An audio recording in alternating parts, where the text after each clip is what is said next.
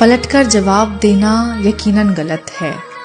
लेकिन अगर ज़्यादा सुनते रहो तो लोग बोलने की हदें भूल जाते हैं।